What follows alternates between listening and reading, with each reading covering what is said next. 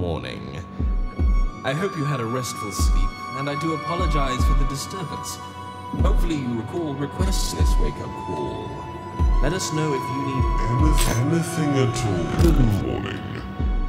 I hope you had a restful sleep, and I do apologize for the disturbance. Hopefully you recall requesting this wake-up call. We're here to ensure your stay is as comfortable as can be.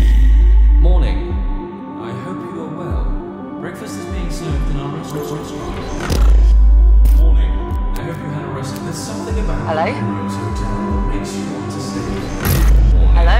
Can you hear me? Just let me have a rest inside. Hello?